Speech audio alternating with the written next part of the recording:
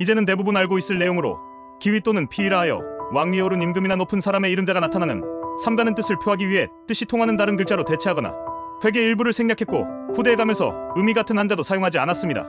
고대 중국에서 시작해 우리나라에 들어온 것은 신라 후기며 이후 고려 시대포는 모든 왕이 외자였고 조선에 와서는 태종 이방원과 단종 이홍유를 뺀 모두 외자를 사용했습니다. 왕이 되지는 못했지만 왕족이나 왕자들의 이름 역시 외자가 많았습니다. 더불어 관련된 모든 것들도 이름을 바꿔야 했습니다. 대표적인 예로 경복궁의 두 번째 문인 흉내문은 원래는 홍내문인데 청나라 건륭제의 이름인 홍력을 피해 지금의 흉내문으로 고쳤고 관음과도 원래 관세음보살이었는데 당태종 이세민의 세와 겹쳐 현재까지 관음보살로 알려졌습니다. 이름에 흔히 들어가는 이룰 성자를 가진 이성계는 뒤늦게 이름을 이단으로 개명했고 영조는 피의 문화가 불필요하다 느껴서 자신의 이름을 40년 동안 알리지 않았던 것으로 유명합니다. 북한 주민들의 이름의 일성, 정일, 정은 그리고 최근에는 딸인 주애를 쓰지 못하게 개명하라는 것도 피의의 사례로 봅니다.